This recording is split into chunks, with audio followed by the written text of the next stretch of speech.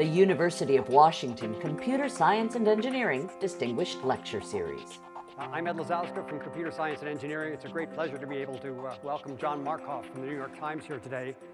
Uh, John uh, grew up in Palo Alto as befits a tech and science columnist. That was some years ago. Uh, he was an undergrad at Whitman College where he majored in sociology. John and I are actually part of a group now that's helping Whitman introduce a computer science undergraduate program, which uh, turns out to be pretty interesting. You have to convince the faculty that it's not vocational, it's part of a liberal arts education. Um, turns out it is. Uh, in 1981, uh, John was part of the original staff of InfoWorld. How many people ever saw an issue of InfoWorld? Unbelievable. Yeah, exactly. Uh, in 1984, he was uh, an editor of Byte magazine. How many of you ever subscribed to Byte? This is pretty good, okay. Uh, in 85, he uh, went to the San Francisco Chronicle, where he reported on Silicon Valley.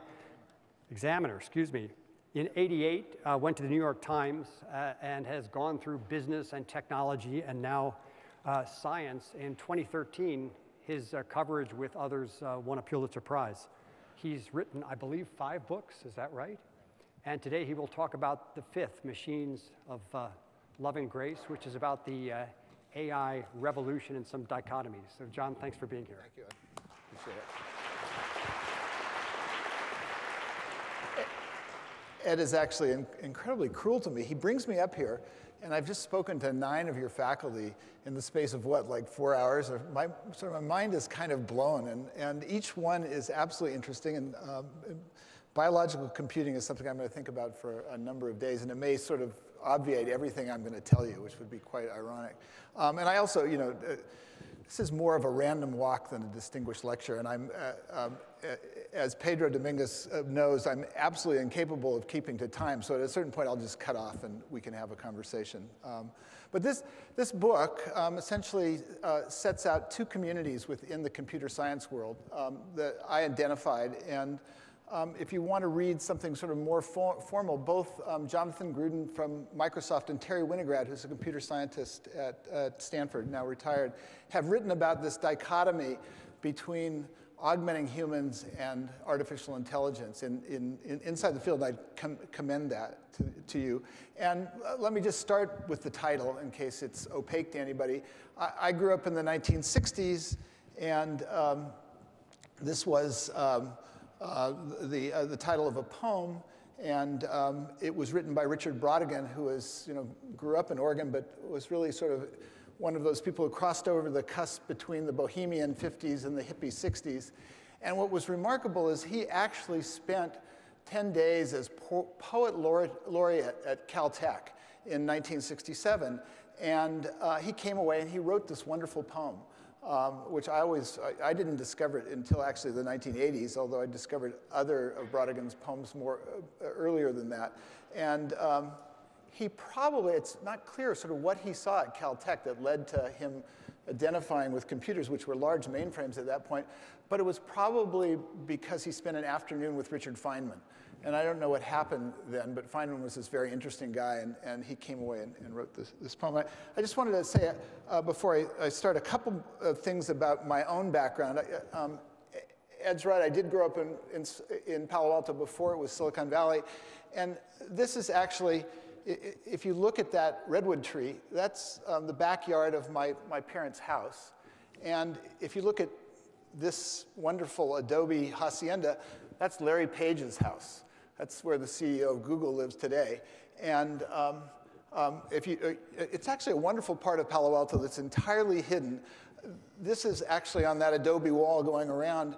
And when the Padres actually came up El Camino Real, they stopped right there and camped, and they actually made those paving tiles on the roof, roof there. And so it's got this wonderful history. And uh, uh, it was originally uh, a, a, home that was built by the curator of the Stanford art museum in the 1940s or 1950s, and Larry Page bought it about 15 or 20 years ago and found that because it was historical, he couldn't do what he wanted. And so he bought all the houses around it, um, in, including my parents' house. Um, but you know, this is my career. That, that was the house where Steve Jobs lived, and that's Larry's house, and that's my parents' house, and that was my paper route. Um, I like to say, there goes the neighborhood. Um, so So uh, you, you, might know sort of uh, my reporting at the New York Times. Um, I, I, wrote about um, the program that, that Robert Tappan Morris wrote in the late 1980s called The Internet Worm. Uh, it was a story uh, that I broke, and that was really sort of the first moment that people really came to grips with the power of computer networks, both in good and bad. That was, that was in 1988. I, I wrote about the capture of this computer outlaw but, uh, whose name was Kevin Mitnick. Um, I, I, wrote about the Clipper chip. I broke the story of the Clipper chip, and here we are. That was 1992. The debate has come right around again uh, over encryption and whether we should have backdoors. It's sort of back to the future. Uh, I wrote the first story about the World Wide Web. That was in December of 1993, which seems impossibly long ago. And I broke the story of Google's autonomous uh, car uh, program. For a long time, I was the person who covered uh, computer security uh, for the New York Times. And then after Anonymous and LulzSec, which was a couple years ago, I decided that I, if I had to write about one more testosterone teenage boy with an attitude, I was going to have an aneurysm and I needed to do something else. And so I gave up the computer security beat of the New York Times at just the wrong time because it's been on the front page ever since. And I moved to the science section and began writing about AI and robotics. And um, the, sort of the arc that led to that, that decision actually began in 2004 when Andy Rubin, um, who you might know because he was the inventor of the Android phone project at Xerox, 2004, around DARPA's first autonomous grand challenge, he said PCs are starting to grow legs and walk around in the environment. And the first time you hear that, you go, well, I don't really know what he's talking about.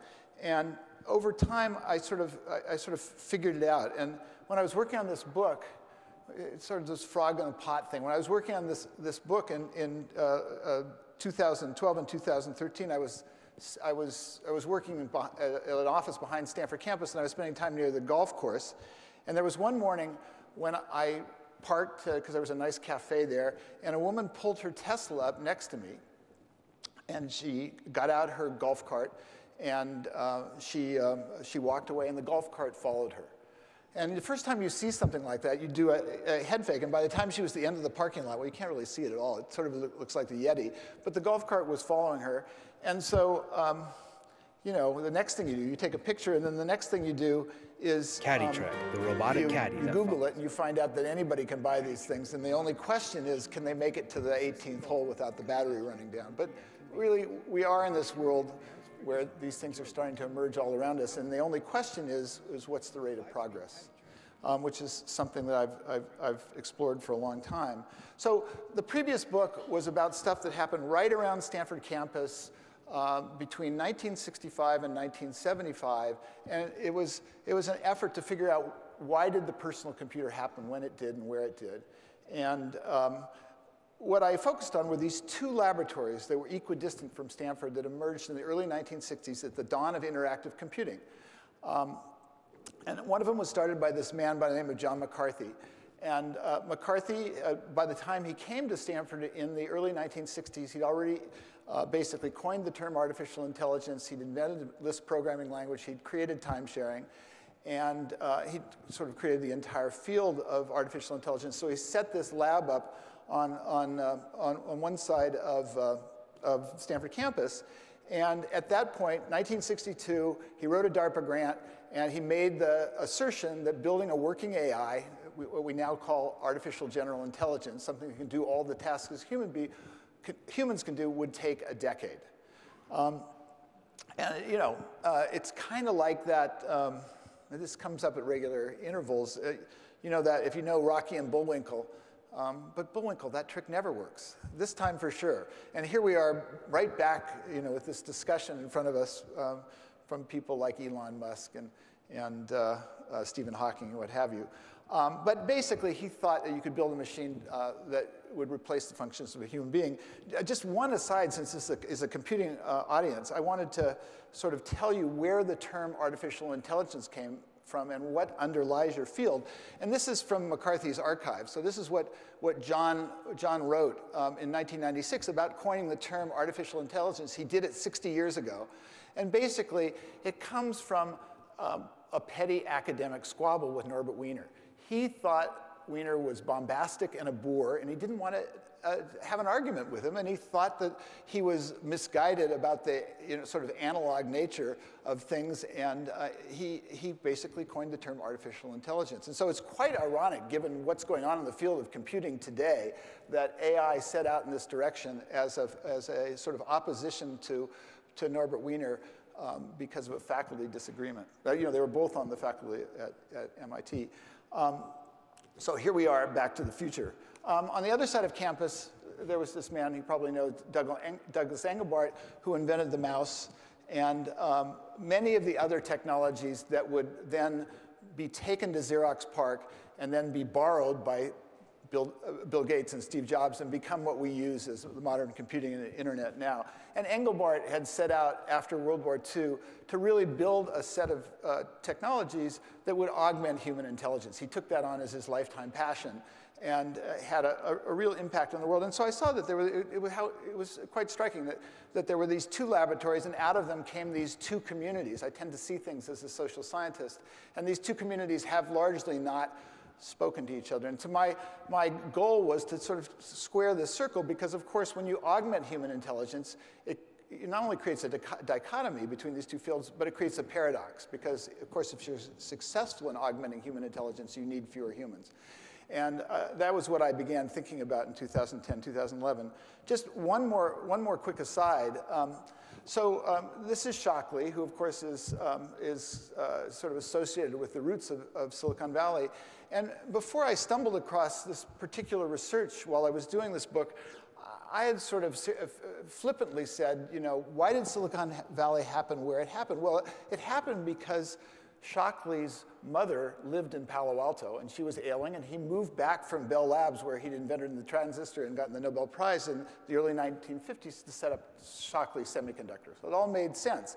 And then uh, I ran across wor this work of this uh, historian who, who was working on a, a, biography of Gordon Moore, David Brock, and he stumbled across this memo um, in, the, um, in, this, uh, uh in the Stanford archives where uh, he shows that Shockley actually, um, along with many people in American society at that point, was, was really fascinated with automation. And he'd set out to, um, to uh, basically, he wrote a three page memo inside Bell, Bell, Labs in 1952 calling on Bell Labs to build an automatic trainable robot. And if you look at this, if you read this document, basically it's Baxter. It's what Rod Brooks would do 30 or 40 years later um, basically a very simple machine that had eyes, hands, and could do function, functional things. Um, uh, what was sort of significant is he went to Beckman, who was the person who funded Shockley Semiconductor, not to build the transistor, but to build the machine vision eye for his robot. And so the roots of Silicon Valley are entirely in robotics, and it's, it's been completely lost. Um, so uh, where are we today? Um, uh, you know, we, are in the midst of this debate about the rate of progress and the acceleration of computing.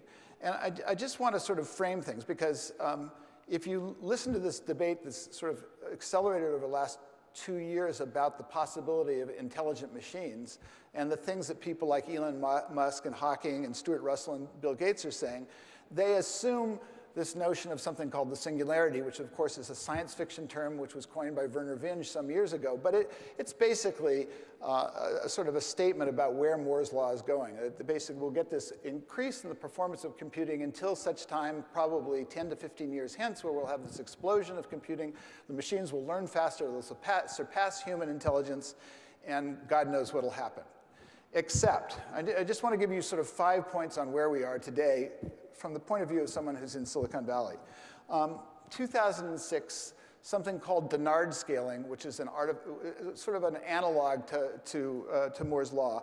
Basically, the, the rate of increase of clock speeds stopped. Basically, computer clock speeds have not going, gone up since then.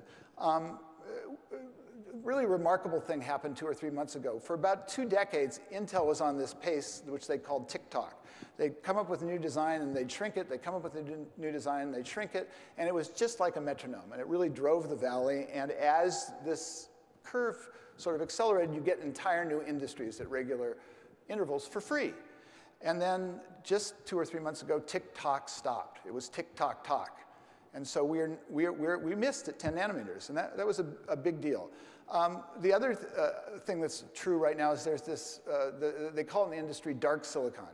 Um, basically, you have these wonderful microprocessors, but you can't use all the transistors all the time or else they melt.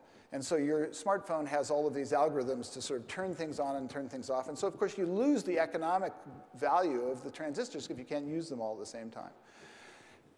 Really interesting thing that I haven't been able to get to the bottom of. One of the amazing things about Moore's law is the cost of transistors falls. And so that means that you get to, you get to sort of a, a better design for free by just sort of going down that process at regular intervals, except at about 2012, 2014, for the entire industry, except apparently Intel, um, the cost of transistors stopped falling.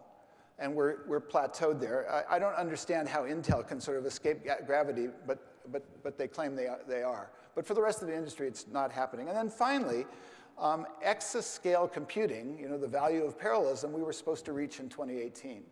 And um, we're going to be lucky if we see it by 2023, uh, if then. Um, and so, uh, you know, parallelism is not sort of picking up the slack and dividing all providing all the benefits. So I had this wonderful moment, uh, sort of when the uh, Stanford affiliates program this spring was grappling with this reality that things are slowing down. And um, at the end of the event, I ran into this Harvard computer architect by the name of David Brooks, who had been listening to the same things that I had, and he was giddy um, because he, what he said to me, now it's our turn. Um, we may not get this free ride. Progress will be episodic, but creativity will make a difference. And so it's a really, it's, it's, we're at that interesting point. Um, uh, so, uh, you know, as a rule, I try not to speculate about anything that is longer away than a half decade. And uh, my mantra is, is what Paul Saffo, who's a longtime Silicon Valley pundit, says never mistake a clear view for a short distance. Um, and um, so um, um, and one of the things that I've come to say from being around Silicon Valley for a long time is the visionaries are always wrong. And I can't tell you how, how, uh, how useful a, a, sort of a, an idea that is because uh, that's the best thing about being a reporter is you just have to report what, what, what they say. So, so my, my book is a set of uh, interwoven portraits. I, I tried to look at the people who sort of moved from AI to IA in their careers and try to understand why they did that. And um, you know, starting with a machine, this was the very first AI platform. It was, it was uh, created by a man by the name of Charlie Rosen, who was a really fascinating character in the 1960s in Silicon Valley. And he did it because he had gotten very interested in artificial intelligence and he wanted a platform. And he was kind of a rainmaker at SRI then. He was the kind of guy who would go back to Washington and get money from the Pentagon. And he went back and he sold Ruth Davis, who was a Pentagon bureaucrat, on the idea of building a sentry for a military base. Um, and, and, they, and they asked him, of course, you know, well, can it carry a gun? And his response was, sure, two or three. How many do you need? Well, uh, you, know, um, Shaky was an incredibly well celebrated failure because uh, it, it, never actually carried a gun. And uh, Life magazine called it uh, the world's first electronic person. And um, that turned out to be very problematic. Uh, that Life article quoted Marvin Minsky that within three to five years, computers would be writing Shakespeare, they'd be changing the oil in cars, and th those things never happened. Um, but um, Shaky was very important. A lot of the technologies that we have today in our smartphones actually came out of that platform. The navigational um, tools, algorithms that are in your smartphone started there. Siri started there, the first research on, on speech recognition. Um, one of the young men who worked on, on Shaky was, was a young computer hacker by the name of Bill Duvall who'd taken all the computer classes you could take at Berkeley in the mid 1960s. They didn't have a CS department. He dropped out. He came down to work on the Shaky project. And after a while, he was, he was unhappy because Shaky was kind of run like a military top down project. And he looked across the hallway, and there was Doug Engelbart's group, which was came across kind of as a bunch of hippies, and it looked like they were having a lot more fun than the shaky guys were. And he jumped, he jumped over. He was the first one to cross over from AI to IA. On October 29th, 1969, um, he, he wrote the code for node one of the ARPANET, the forerunner to the internet. And he was there at that moment, the Watson come here quick moment of the ARPANET, that first, it wasn't a message, it was remote login. login. Um, and you, know, it was actually a loop around is what happened. Uh, he, he was talking to UCLA, but he was actually trying to log into a machine in, in, uh, in Menlo Park because the ARPANET was built. And if you go back to RFC number two, you'll see that the first killer app um, uh, for the ARPANET, for what would become the internet, was the online system. It was basically the forerunner to Microsoft Office. And, um, and of course, the rich irony is he typed LOG, it was 10 o'clock at night, and because of a buffer overflow, the machine crashed on G. And I just so find that so richly ironic because here we're still plagued with buffer overflow problems and architectural issues, uh, you know, how many years later. Um, but but um, Bill would go on to, to be one of the people on the original Mac team. He wrote both the first um, C compiler and the first assembler for the Mac. So he ended up on the AI side of the coin. The other person I wanted to point to in this context is Terry Winograd, who began as sort of an AI wonderkin at MIT in the 60s. Uh, Terry wrote SHRDLU, an early natural language processing program, which was kind of a virtual version of Shaky. You could command it to do things in this virtual world and it would understand you. And then he came out to Stanford and to Xerox PARC and he worked for a decade on AI problems. And then, sort of famously, in the early 1980s, walked away from the field. He gave up. Um, he had had a, a, series of conversations with a group of philosophers like Hubert Dreyfus and John Searle at Berkeley, and he decided that AI was an impossibility, and he went over to the HCI side of the coin. And I, I, I think that this is sort of to, to make my point that these kind of these personal decisions sort of have an impact on the world.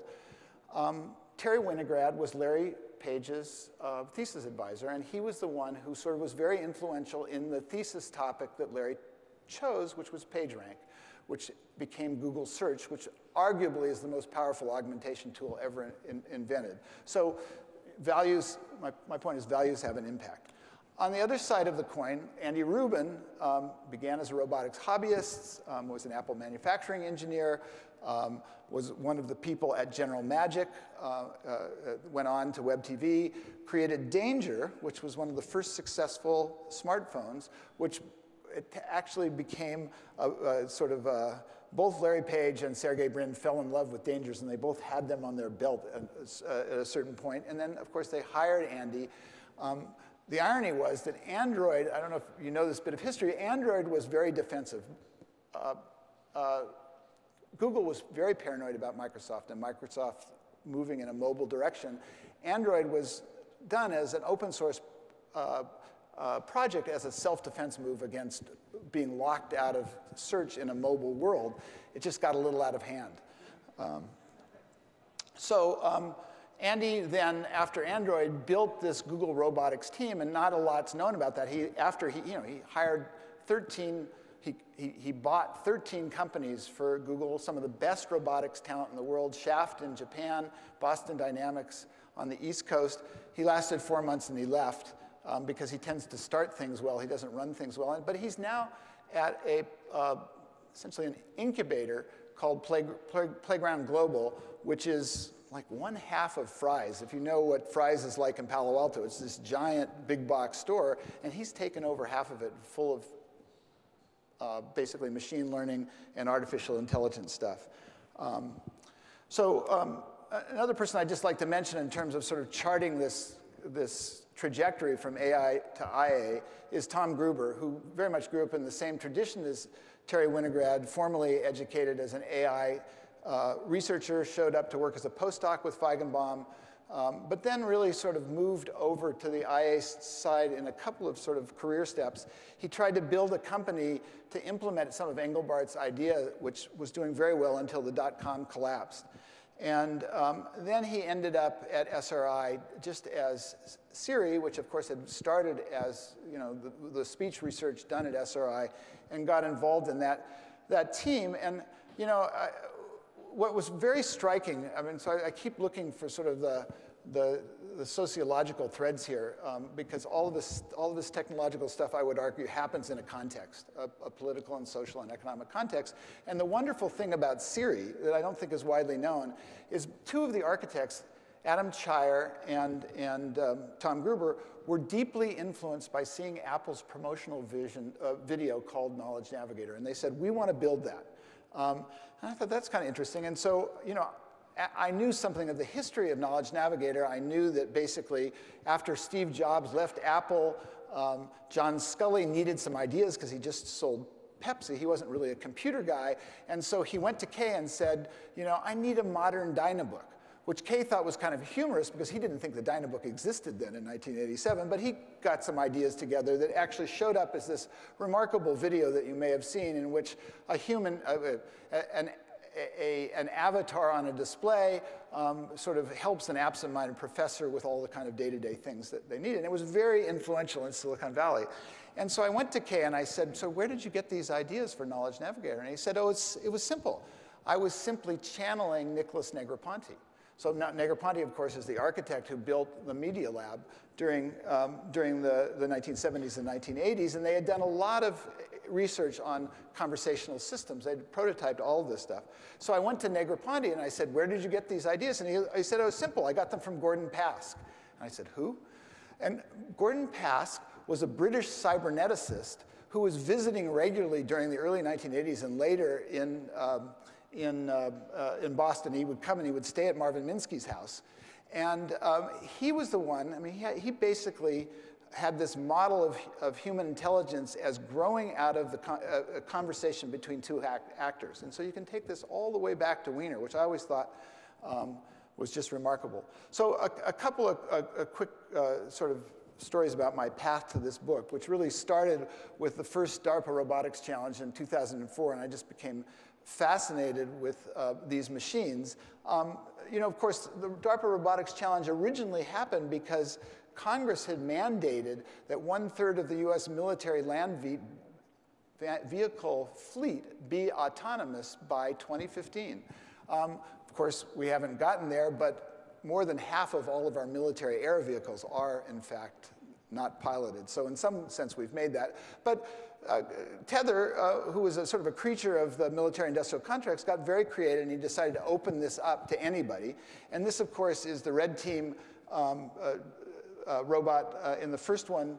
Uh, 2004, it looked like they were, they were going to win hands down. Red Whittaker, a well known field roboticist, came with a team of photo analysts, and everything looked really great. I mean, it's so impressive. There were a bunch of hobbyists, and then there was this, you know, this um, amazing system. Um, but you could tell right from the beginning they were having trouble. I mean, they were following a, a, a, trail of GPS dots, but they were having trouble staying on the road. That's both sides of the same road. And they made it for seven and a half miles, and they did better than everybody else.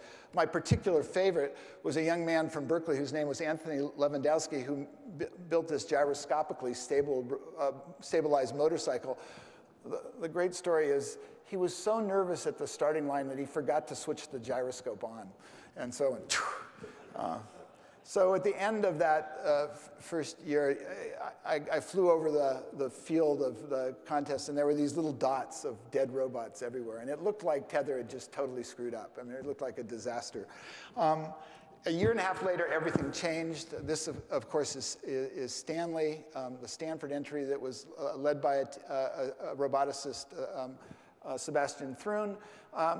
You know, it really changed the popular perception, and a whole set of things happened out of that. But in fact, there were problems all along. One of the absolute best things going to happen to you as a reporter is to be in a robot accident that you can walk away from, because you get this great, great story. But it really sort of gave me an insight to the way that Sebastian worked and he thought, because we, we basically came over a swale at about 25 miles an hour in the Arizona desert, and the LiDAR saw a branch that was above the road, and Sebastian had this big red e-stop button that was supposed to stop it, but we were off the road before he could touch it. And luckily, this was this tree that we ran into instead of the two boulder piles on either side.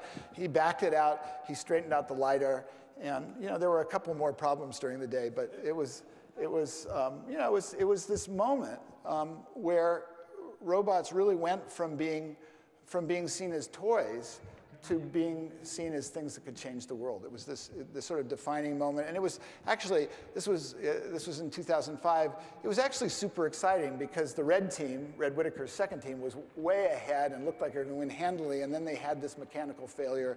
And Sebastian's team swept by and they won the $2 million prize. And of course, the chain of events was Sebastian then went to Google to set up Google X and start the self-driving car project. And um, that was one of my favorite scoops. I was the one who reported on the Google car uh, in 2010. And it's kind of a funny story because, you know, they were driving these things in plain view for a half a year before, before I reported it. So why weren't, you know, why didn't people figure this out? So they were driving them at night. Um, and they also had this fleet of Google um, uh, Street View cars. And so people couldn't tell the difference between a LiDAR and the camera, and so they largely escaped detection. But I'd heard kind of rumors, and Sebastian had said a couple things, and it was starting to filter out. And then uh, at a certain point, um, uh, I was actually at a Christmas party at my cousin's house, and my cousin's son said to me, You know, I've got this friend who went to school with me, Menlo Atherton, and Google's paying him $15 an hour to sit in a car, but he's not driving.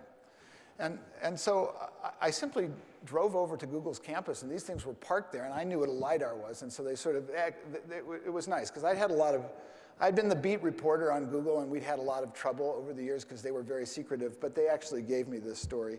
And, um, and of course, as it came out, it had this huge impact on the world's automotive industry. Basically, all of the automotive automobile manufacturers that weren't in Silicon Valley came to Silicon Valley because they did not want to be like the hardware manufacturers who are commoditized by Microsoft. They knew, they knew what this movie looked like, and they didn't want that to happen again. So um, here we are. I don't know if you saw the news yesterday, but um, the California DMV said that a self-driving car has a driver in it and has a steering wheel and a brake and a, an accelerator, which was a huge setback for Google, which we can talk about. So, uh, you know, this was another uh, sort of uh, significant point. This is a video that uh, uh, Boston Dynamics put out sometime before they built the first robots for the DARPA Rescue Challenge, which was the next contest that, that happened. And um, I'm showing it because it had this huge impact on the world. But what you have to know about this is it's highly scripted and it's not showing machine autonomy. This was teleoperation. Very impressive teleoperation. But um, there was, you know, there's, there's really impressive low level autonomy, but you know, there's a man behind the, the, the, the curtain. And th that's certainly true here. This was at the first um, DARPA Robotics Challenge. This was the highlight of the show. This is another Boston Dynamics robot that, of course, was, um, was bought by, by Google and is now part of the, the, the companies that work for Google. Um, and they've continued to uh, uh, evolve these things. Um, you know, when, when Andy uh, acquired those companies, Google has never said publicly what they want to do. And, and actually, you know, it's not clear what they're going to do because they have not hired a replacement for Andy Rubin since he left running this group. Um, but what Andy told the companies that he was hiring is his vision was a 15-year journey to um, a world in which the Google car would drive up to your uh, door and the Google robot would hop off the back and put the package on your, on your, uh, uh, put the package on your, on your, on your step, which to me is a, until recently, I thought was much more plausible than an Amazon drone flying in and dropping it off. But I get that's question of um, where we'll end up. But um, so, you know, that's our vision of these machines. Once again, remember there's a man with a backpack here. This is not autonomous. Uh, it's not fully autonomous, although it's very impressive. Uh, but this is ground truth. Uh, this is where we are today. Um, this was the second uh, DARPA Grand Challenge this, this spring, which was great fun. Um, 24 contestants, um, 18 months, millions of dollars each, um, eight simple tasks. Uh, you know, you had to drive a vehicle, you had to walk, you had to open a door, um, you had to uh, throw a switch or, um, or uh, climb over uneven ground. And three of, the, three of the contestants actually did it. They took about 50 minutes instead of the six or seven that you or I would need. Um, but, you know, at the end um, uh, of this, uh, you know, Gil Pratt was the DARPA ro ro robotics uh, project manager who organized this, and his son, Joel Pratt, said, you know, his, the takeaway lesson from this is, um, if you're worried about the Terminator, just keep your door closed. So, so the, once again, it's a question of rate of progress, because I've seen the stuff that's going on now in the laboratories, but it was not, um, it, it, was not in, in those robots at that time. Um, and you know, so they had three autonomous vehicle grand challenges. They only had two of these. Uh, you know, this was supposed to be building systems that could work in these areas where humans can't work. And I was talking to the students who were involved in these teams, and they really should have had a third one. And one of the students proposed this idea of a third DARPA rescue challenge, and that would be to send a robot into an urban area full of people and the robot would have to get from one place to, the next, to another place by asking people for directions and then going there. And that would have been really a fun contest, but they, they haven't done that. Um, so um, the two contests sort of help frame this new debate that we're amidst in, the, in terms of automation. I wanted to talk a little bit about this automation debate because, you know, since Wiener, since the 1950s, we at regular intervals as a society have really come to worry about automa uh, automation and its impact on society and the workforce. And I, I, have to confess, I started on one side with my hair on fire, worried that this would be uh, uh, a, a, really dramatic thing, and I've come entirely to the other side, and I just wanted to talk about that a little bit. Um, so in the past five years, the debate has really reemerged. Um, and um, that's Walter Reuther, but it's really sort of at, at, its heart, you know, there was this wonderful moment at, at, Ford in the 1950s where one of the companies was showing Reuther around Ford's plant and, and uh, he was showing him a new automatically controlled machine and he said, you know, was teasing him. He said, Walter, how are you going to collect union dues from these guys? And Reuther's response was, well, how are you going to get them to buy Fords? And we're still exactly at, at, that point. And, you know, this debate that's emerged in the last five years, from a reporter's point of view, is just the best thing uh, you can have happen because you have everything from on one side of the debate, you have the International Federation of Robotics, who's arguing that this will be the job renaissance of all times, that basically these robots lead to new jobs. On the other side of the debate, you have people like um, uh, Moshe Vardi at Rice University, a computer scientist, who argue no jobs at all left by 2045. And you know, the truth obviously will be somewhere in between. I got in the middle of it in 2010 when I began to notice that $35 an hour paralegals and $400 an hour attorneys were being displaced by programs that could read legal documents and do a demonstrably better job than humans. And that seemed to be quite a dramatic shift from an era where machines had replaced blue collar labor to uh, uh, machines that replaced, uh, replaced in, you know, high end white collar workers. And I wanted to look at this in the case of China in 2012, and I spent like a, a, half a year trying to get to China as a reporter. And because my newspaper has a small quarrel with the Chinese government, I couldn't get there. And at a certain point, I gave up, and um, I, I, I, went uh, to the Netherlands, where I saw this production line, which makes uh, basically the high end of Philips uh, electric razors. Um, it's an entirely lights out factory. Um, the, you, the, the, razor is interesting to me um, because it's arguably from a mechanical assembly point of view, it's more difficult than putting together a smartphone. There are more components and stuff. And those are adept robot arms. There are 128 of them. They operate at two second intervals. Um, the only place there are humans on the line are eight women in white coats at the end, and their job is to do QA by listening to the, the razors. You can tell how well the razor's been built by, by just putting it up to your ear. And they can produce 15 million razors a year. And the sort of the, the lesson is um, what's different between razors and cell phones. Razors, they don't change the model for a decade. Cell phones, they change the model every nine to 10 months. And so you can't basically reprogram these things quickly enough, and that's, that's changing. Um, so um, uh, this is uh, another example of sort of the pace of, of industrial automation.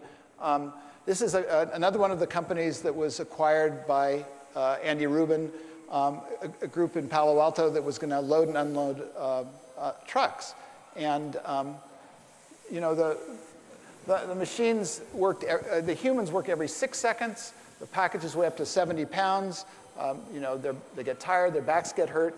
Um, at the point that they were acquired by Google, uh, Industrial Perception would get a FedEx contract to do this um, if they could do a box every four seconds. And they were at that level uh, at that point. Um, they thought they could go to two seconds. And so that job of the lumper, which is kind of a terrible job, um, it looks like it's sort of it, it's destined uh, for, for, replacement. And what actually, you know, this was all made possible by the Xbox. That's one thing to point out. It is the, uh, the you know, falling costs when you get these order of magnitude changes, you get these new functions. And um, you know, PrimeSense and structured light made something that had cost tens of thousands of dollars fall to $100, and, and so this was possible. Um, so um, just a cautionary tale uh, about this question of jobs. This was a book written by an economist, Jeremy Rifkin, in 1995, where he was arguing for the end of work. And just to put it in context, um, you know, in the succeeding decade, um, you, know, the American workforce actually grew by 19%, while the population only grew by 11%. So, you know, be very, be very careful about what you predict, and, and timing is everything. Um, a couple of examples on, on, this about sort of why I've come over there have been a, a, whole host of books about uh, the sort of the, the, crisis that we're facing.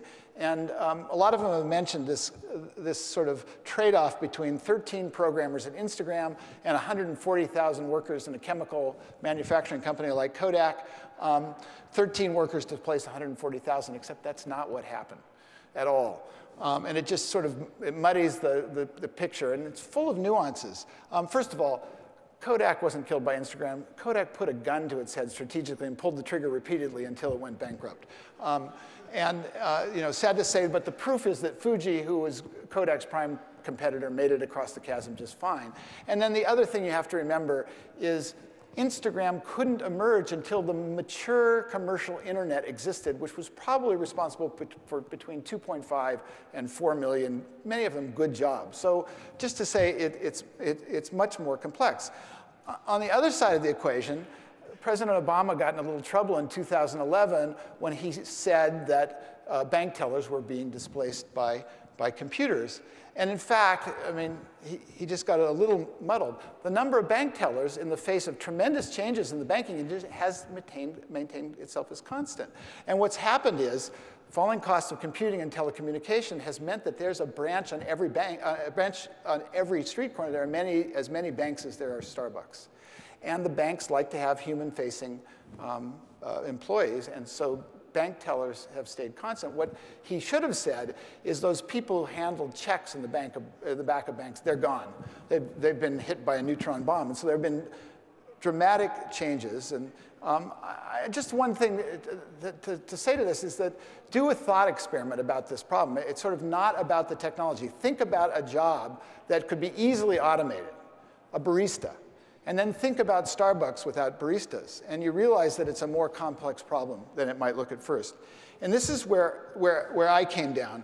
Um, you know, I, I, was, I was talking to this economist, Danny Kahneman, um, about the situation in China and trying to make the argument that as automation came to China, it would lead to disruption. And he said, you don't get it. If we're lucky in China, the robots will come just in time. And I said, excuse me? That didn't make any sense to me. And he walked me through what's going on in China, Chinese society. China is an aging society. It's aging much more quickly, largely because of the one-child policy, than American society. Um, and in fact, I think in a, within a decade, there will be literally a third less 19-year-olds in China. They will, one, not have enough workers, and two, they will have a dramatically aging population, so they'll have this problem of elder care which is an interesting uh, question in its own right. And so, you know, in a real sense, um, since, uh, you know, my metric when I go around and talk to AI researchers about where we stand, my metric is when will there be a machine that can give an aging human a shower? I think that's a good benchmark, and we're a long, long way away from that right, right now. Um, you know, um, right now, for the first time in history, there are more uh, humans in the world who are over 65 than are under five. And it's true everywhere but Africa. We're aging, probably less so than the rest of the world, but Europe and Asia are aging dramatically, and the world is going to look very different uh, in, a, in a very short period of time. 2050, there will be double the number of 80-year-olds in the world. The end of the century, there will be 70 times, seven times as many 80-year-olds in the world. And I think that's, that's what we, we need to look to. Just one more point on the job question, because it's really evolved. And we've gone from this kind of panic to these new studies that have come out just recently that have really reframed the issue in an important way. There was a McKinsey study uh, about two weeks ago that pointed out that what's going on right now is not job automation, but task automation. And in fact, the impact, um, if you look at the economy broadly, is about 5% of all jobs in the American economy are at risk over the next five years. And if that's true, it's a very different situation. And, even more so, there was a really interesting study uh, a week before last from a, a guy at, at, Boston University where he, he did the same study that the Oxford guys did that got everybody alarmed uh, about two years ago about job categories that were subject to automation. He redid it, and his view is that for 370 job cat categories in the United States, there's a direct correlation between the level of computerization and the rate of job growth. And so if, if that's true, then it's a very different situation. The, the place where we have to worry is this question of polarization, where it's pretty clear that the middle has declined since at least 2008 in the recession, where the companies like Oracle and SAP and IBM have basically done this business process reengineering thing and taken out routinized white collar jobs. And that's, a, that's an interesting problem. Um, one of the areas that, um, that I think a lot about uh, are, are these, this is Watson. And one of the wonderful things about Watson that's not known, you know, they got, IBM got tremendous publicity for Watson beating uh, a human Jeopardy player, Ken Jenkins, and I forget who the other guy was, Ken Jennings and his partner in 2011. It turns out that at that level of Jeopardy, pretty much everybody knows the answer to the question. And what Watson was really good at, Watson actually had to push a button. And there's this little window that you have that you have to push in in. You can push in too early, you can push in too late. And Watson was using a statistical model to push in, and it could beat the humans every time. And that was why Watson really, really won. But, you know, here now we are, four years later, IBM is betting its company on the Watson technology, which it calls cognitive computing. And I think it's going to be a fascinating sort of AI versus IA question, because IBM has pitched Watson as being a medical advisor as being something that a doctor can rely on, as being an augmentation tool. And you know, I think it could change the face of medicine. But how's Watson going to be deployed? And you know, I don't think we have a clear view yet. Will it be used as a doctor's advisor? Or will it be used as a physician, physician assistant's advisor, in which case it could change the structure of, of medicine. It could lower the cost of giving medical care, but it might also get rid of a lot, lot of doctors. Um, so um, uh, this is uh, this was a sort of so I, a lot of uh, one of the things I thought a lot about is our relation to these machines because as a as a species you know we seem to be willing to anthropomorphize anything. We'll we'll you know we'll we'll talk to our cars we'll talk to our computers um, this was a company that was building FAQ bots in Australia a number of years ago. One of the experiments they did, so they, that's that little text box, you can type to it.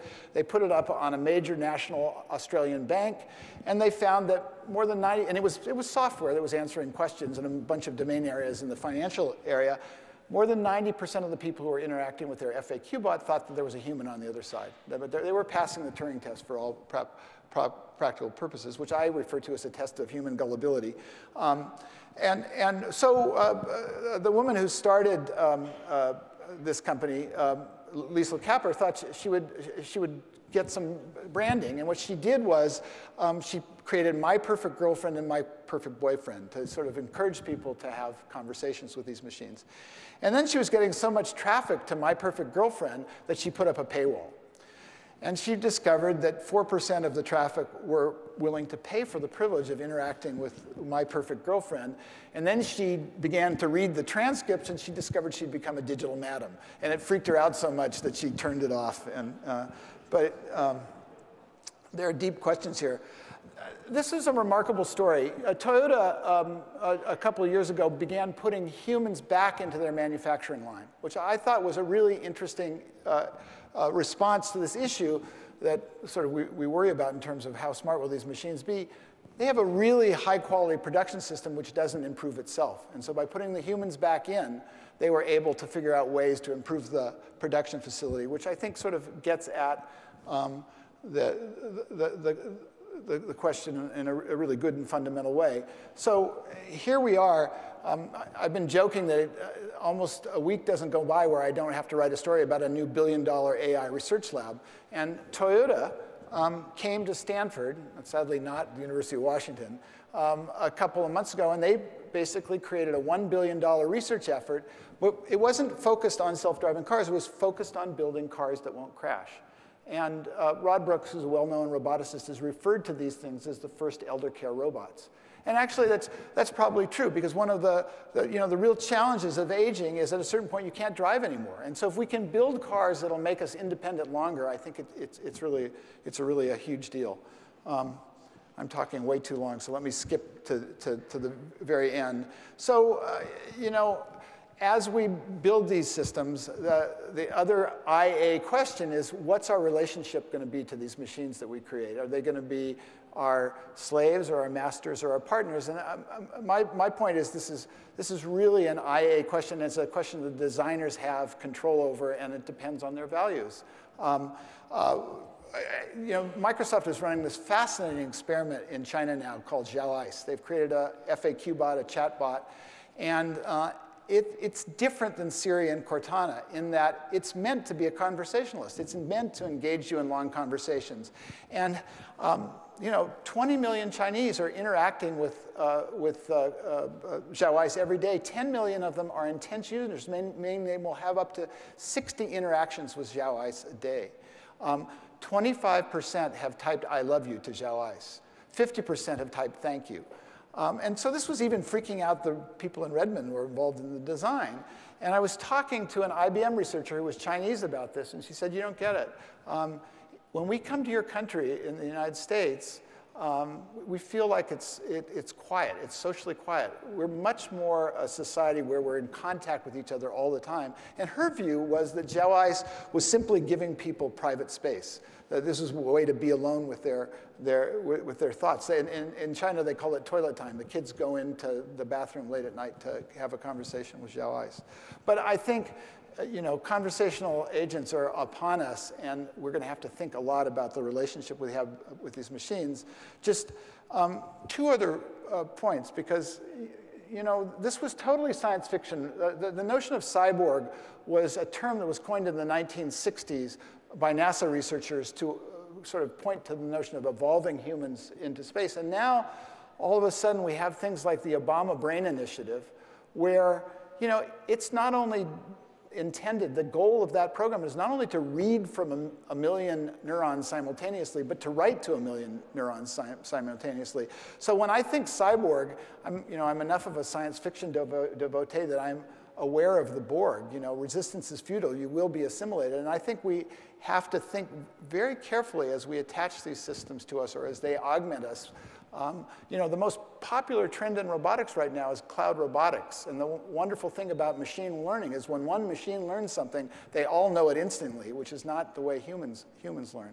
And I think we're on the cusp of actually having to deal with this in a, in a, in a, in a meaningful way, which leads me back to Norbert Wiener, who in 1950 sort of laid this out. And here we are. We can be humble and live a good life with the aid of the machines, or we can be arrogant and die. And I think, you know, 70 years later is still worth thinking about. Thank you very much.